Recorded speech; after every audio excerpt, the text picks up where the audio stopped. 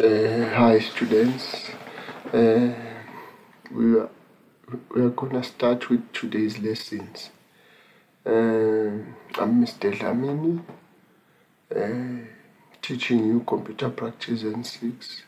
Today's section that is gonna be covered is indexes. We'll do the indexes.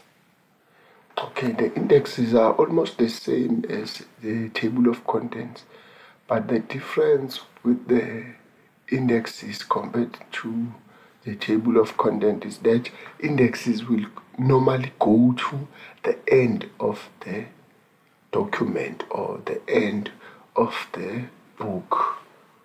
Indexes uh, usually is called the glossary, another term that is used when referring to the indexes. So the indexes are, are there to list keywords, keywords that exist in your book or document. So they are listed under the indexes or sometimes called glossary at the end of the document. So it, they guide you, the index guides you where to find a, a, a specific keyword in the in the document or your textbook. So then let's go at the end of the document and get ready to insert the index. Usually you will have to, let's activate the paragraph code.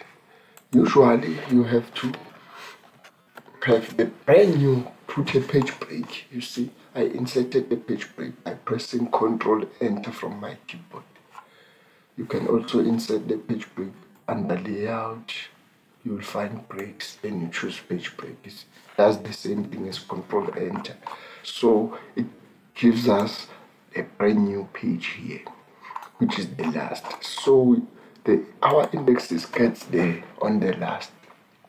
So then you will get maybe an, in, an instruction to say on the left type index. Uh, type index. Then on the right hand side uh, you type page number. Then you look at uh, into your margin. Uh, uh, what is the size of the, our right hand margin and if you can see it's 16 centimeters.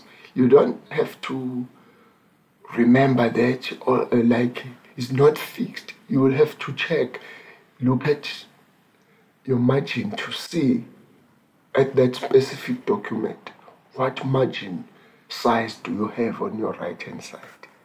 You don't have to stress to remember a specific size you look it's 16 then you go and insert a tab a right tab that will uh, allow page number to be right aligned. Because using the alignment you cannot have more than one alignment on the very same line. Because in the term index must be on the left and page number on the right. Same line. How do you do it properly?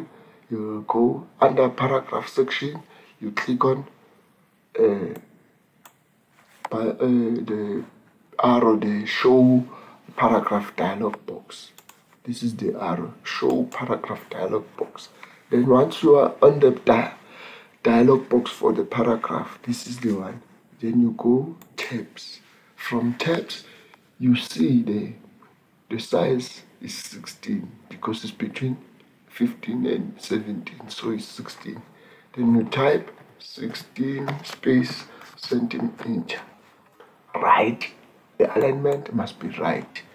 Then you set then okay. Then your tab is inserted as you can see. Then what you do you press from the keyboard the tab key. Then once the tab key has been pressed then you can type page number then maybe the instruction comes to say after page number after this line, you must leave two lines open, meaning that your cursor must rest there on the third line because you have to leave one, two. That is why I activate paragraph code. It allows you to to count easily the lines. One, two. But without the paragraph code being activated, you have to, it's difficult to track, but you can do it because one will see two, then on the third line. But with paragraph code active, being active is easier. So we put a case. Then the instruction might be saying here, it must be, the, this heading must be bold and it must be capital letters. Change upper the case to uppercase. Then, once that is done, then they will give you few words to to say you must make those words uh, those words must be part of the index. How do you do it? When you are doing the index, we were just preparing for the index so far. Usually, these are the instructions that you'll receive to prepare for the index. Then you for when you are about or when you want to insert the index now, you go to references. Under references, we've got the section here for indexes. Everything you need uh, on indexes, you will find it here. This is the section. Okay, then let's do it. Uh, maybe let's say they want you to include the term uh, April. They want you to include Apples as part of your index. Let's say they choose four words. They want a uh, vegetable as the first one, the second one fruits. Okay, and then they say under fruits, apple and grapes. Then we are done for change. It's vegetables, then fruits, then apple, and then grapes. Let's do it. So what, what you need to do, you need to browse to, to the way that you are looking for. You highlight vegetables because you want vegetables to be part of index. And then what you do, you say under index section, you say mark entry. It's highlighted, it's mark entry, then you say mark all, close. Then all your vegetables, all the words, uh, vegetables are now indexed. They will be included on the index. As you can see that surrounding next to the word index. Maybe you don't want it here on the table of content to include these words from the table of content. Then you delete. You are seeing this term here because paragraph code is active. If we deactivate paragraph code, it hides. But for you to be able to see which words are, are included on the index, you need to activate paragraph code, then it shows you. But, let's say we don't want the, the words from the table of content to be part of the index. We remove this one and you remove, delete by deleting. So it's finally from page from this page onwards to have that one. So you can track what is included as index, as part of the indexes and what's not. Okay, let's carry on. The next one is fruit. You can choose any any any of these words. It's fruits. We highlight fruits. Then under references, that's where index is. Then you say mark entry then mark all, close.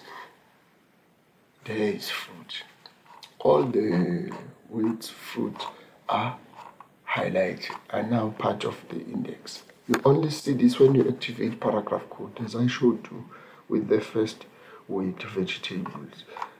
Then the second one is April. You choose any term April, then mark entry, mark all. Close. Apple. Then we now want grapes. As you can see apple is now included. You will see by this one only if you activate paragraph code. Uh, okay. Then what we want now is apricot. Uh, i mean grapes the second the last weight that we want to include as part of it our, our index. Then you see mark entry mark all close then it's done. We've selected all the way then what will happen maybe if you don't want a table of content to be included on on those index then we delete these from the table of contents we delete this we use a delete key. I put a cursor delete delete key. I put the cursor before it delete key delete key. I put a cursor delete delete. So it will only consider words from page 2 onwards. I mean page 3 onwards not the table of contents. Okay then we save. We save this file save as, as indexes. It is no longer table of content but our focus is on indexes to be index then save then now we are sorted. We have highlighted we've included all the weights. We've add, marked all the weights for index that we want. Then the last step we put our cursor where we want it to be inserted then what do you do you go the very same section everything about indexes must go there. Then you say insert index. Maybe they say uh, your index must be inserted uh, numbers must be right aligned uh, and it must be two columns your index. Let's do it and see. You see right now the sample it shows you numbers are not right aligned which means a number will be just next to the weight that is listed on your index. This is the sample of how your index will look like. But that's not what we want. We want it to be right aligned. You see when it is not right aligned uh, the tab leader what goes between the the weight and the page number uh, is not activated. Because if it, the number is not right aligned you don't need the tab leader that goes between the weight and the page number so then what we do if we want the numbers to be right aligned we click right align. Once right align is clicked then we activate. Maybe they will tell you with leader dots the tab leader as you can see there are dots. If you want dashes between you choose dash. If you want a line you choose a line in between if you want nothing you choose none and then there's just a space between the word and the number page number so in our case, we assume they want a tab leader, leader dots. Then they said they want it in two columns. Then we've got two columns. If they wanted three, up to four. You cannot have more than four columns on, in the, on your indexes. So they want two. Then we say, okay, once done. Then we are sorted now. We have two columns. Our indexes have been inserted. Then how many lines here? It's one two three. We delete one line to make it two because the instruction says two lines are required open then we increase the font here for the sake of visibility so that our index is visible yeah. Okay. I hope you understood. That is the ending. You mark the weights first by clicking mark entry. Then once done, you insert the index. Where you put by placing your cursor where you want your indexes to be inserted then you will be done with your indexes. Yeah. Thank you. This is the end of our lesson on indexes. See you next time